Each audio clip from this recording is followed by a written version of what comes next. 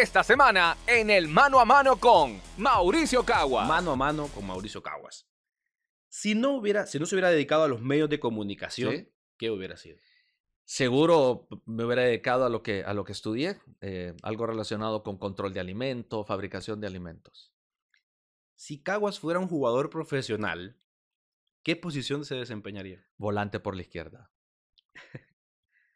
¿Qué otros trabajos tuvo fuera del mundo de los medios de comunicación? Uf, tuve una época en la que instalé pisos, eh, instalación y esmerilado de pisos. Un buen Mauricio, tiempo. Mauricio Caguas fue un hombre de muchas novias, No. un solo amor. Eh, tu- de hecho, tuve dos novias. Mi segunda novia es mi esposa. Un apodo que le decían en su adolescencia. Motorcito. ¿Por qué?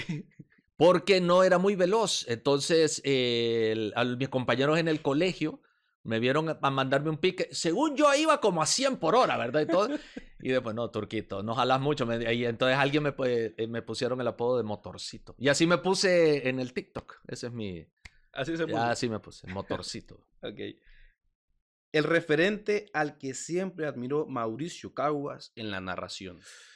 En la narración fue- era una mezcla, realmente. Fue una mezcla de Enrique Bermúdez, Juan Dosal y Gerardo Peña. Era una mezcla. Hacían equipo en Televisa en la época que yo miraba tele y todo eso. Entonces, digamos que. A nivel nacional, ¿Sí? ¿quién es el mejor jugador al que Mauricio Caguas vio pisar un campo de juego? Ese es bien difícil. No, no, puedo darte, no puedo darte uno solo. ¿Tres? No puedo darte uno solo. Pero por su estilo irreverente y su personalidad,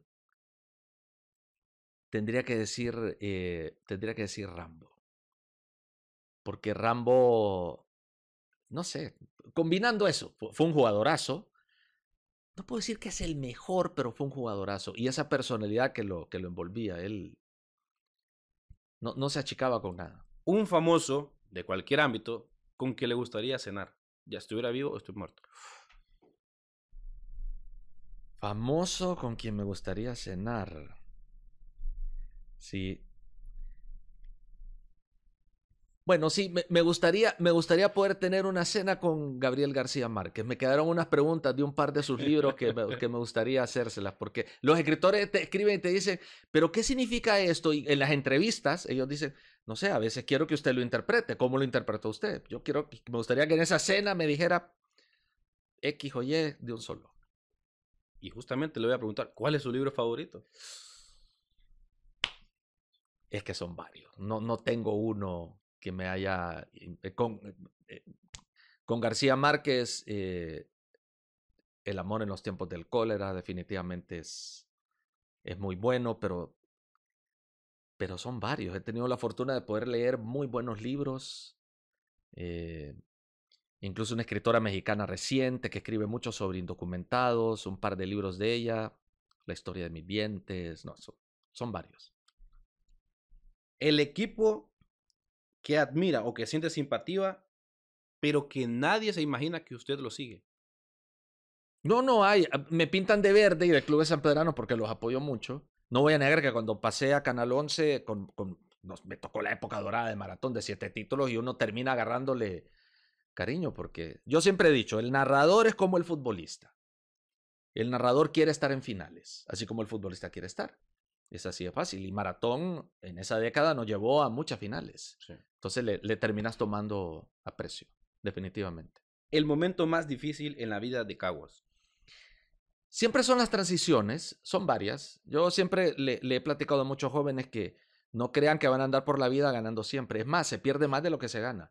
Y, y el, el secreto para subsistir es entender que cuando se pierde no se terminó todo. Hay que esperar, va a pasar el aguacero, va a escurrir el agua y hay que volver a empezar. Entonces, esas partes han sido las difíciles y siempre se han superado. Caguas ha ido a muchos partidos, a cancha, a narrar. ¿Cuál es el insulto o grito que más le llamó la atención en un campo de juego? ¿Que me hicieron a mí? Sí. Ah, que me insultaron a mí. Sí. Ah, esto está fácil. Ese fue un partido Maratón Real España, de, de- cuando estaban bravos los dos equipos. Y estábamos en cabina y hubo una jugada polémica a favor de Maratón. Entonces había unos aficionados de Real España que se giraron Y, y me empezaron a hacer la seña de, de que pagamos, ¿verdad? Para, por, el, por el error arbitral. Y voy a reconocer algo y no me siento orgulloso de eso, pero sí te lo voy a decir para que no lo hagan. Me estaba saliendo de la cabina a buscar a esta persona, ¿ok? Eh, eh, y cuando vio que me estaba haciendo, la persona se, se frenó. Muy mal hecho. Porque el aficionado realmente estaba reaccionando frustrado. Al final se vio en la repetición que el árbitro no se había equivocado, que pitó lo correcto. Eh, y yo no tuve por qué enojarme, porque yo debo entender que el aficionado no está viendo la repetición que yo estoy viendo. Entonces, si él me está haciendo esta seña de, de billete, eh, pues ya lo dejo y nada más lo saludo y ya está. Pero me quiero salir de la cabina, ¿ok? Y, y no es correcto. Y esa es la única vez que, que perdí un, un poquito el, el, el, control. Y se escucha de todo en los estadios. Y se escucha de todo. La cabina es abierta, entonces el aficionado está enfrente y te pueden decir, te pueden decir de todo. A veces van a ser respetuosos y a veces no. La mayor locura que hizo Mauricio Caguas en su adolescencia. La que todos hacemos. Salimos y tomamos de más y te agarran a chancletazos cuando llegas a la casa, entonces bien, bien castigado. Realmente no fui, no fui un, un adolescente problemático, gracias a Dios no. Pero lo normal, el que llega fuera de la hora, el que tomaste más de la cuenta. Creo que todos pasamos por una, por una etapa así. ¿El grupo o cantante favorito de Caguas?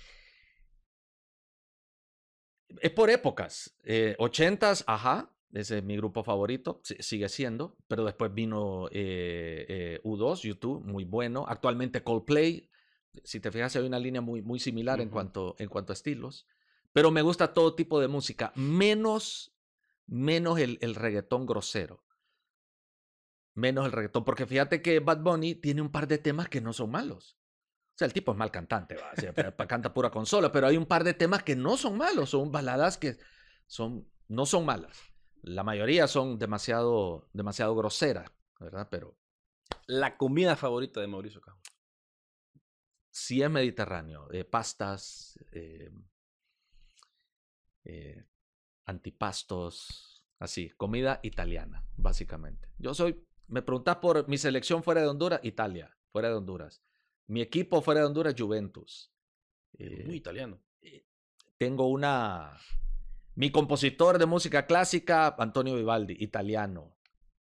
Puccini, ópera, italiano. Caigo inevitablemente y sin saberlo, estoy escuchando italiano, italiano, italiano. No sé, tal vez en mi otra vida anduve por ahí. Y no le pregunto Real Madrid o Barcelona porque la respuesta no va por ahí.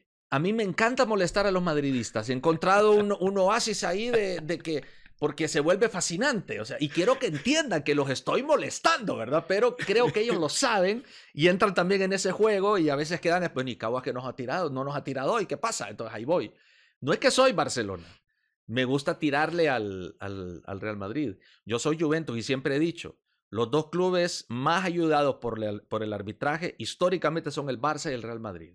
Pero el que castigan es a Juventus. Lo han descendido, los descendieron una vez. Lo...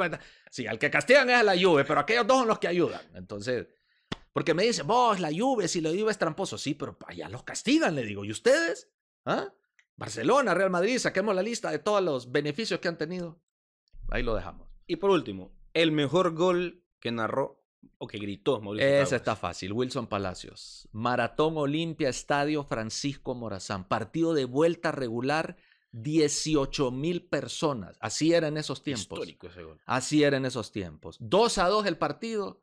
La agarró Wilson, faltaban pocos minutos. Vio a Mauricio Nani salido y le mandó un disparo.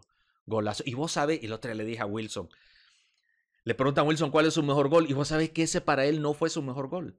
Para Wilson, su mejor gol fue el que le metió a Panamá en una eliminatoria. El 2 a 2. Uno que hace, eh, ah, hace, que hace el, recorte. el, recorte. y la levanta. Uh -huh. Y yo le digo, Wilson fue golazo, pero por Dios, cada cuánto se mete un gol desde el círculo central con esa calidad que le pegaste. ¿Ah? Sí. Eh, pero para mí, el, el, mejor gol que narré hasta hoy, porque Dios quiera me dé todavía más goles, es ese. Voy a agregar una más. Ok. El gol que tuvo que gritar, pero que le dolió en el alma el que nos metió Estados Unidos en la eliminatoria rumbo a 2014 con el profe Luis Suárez. Luis Suárez. Si Honduras no iba mal ese partido, eh, ese fue el juego que nos tocó narrar con Canal 11, que lo transmitió Canal 11, me acuerdo. Y, y aunque era difícil, yo tenía la, la, esperanza de que Honduras ganara y que marcara un gol de visita. Y me tocó narrar el gol del triunfo de, de Estados Unidos. Sí, es un gol que narré, pero que me, que me dolió narrar. Sí, te lo reconozco. Después Honduras fue al Mundial, terminó Sí. clasificando. Pero en ese momento sí nos dejó golpeados.